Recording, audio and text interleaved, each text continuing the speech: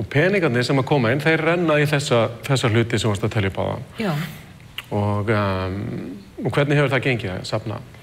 Það er þannig að við höfum hjá Krabbaminsfélaginu notið mjög mikils trösts og velvildar Mm. hjá almenningi í landinu og við auðvitað treystum á að svo verða áfram og við leggjum standa undir því trösti og sem dæminn það má nefna að í fyrra í massmánuði þá söfnum við 39 miljónum sem er náttúrulega grundvöllurinn fyrir allir okkar verkefna vinnu.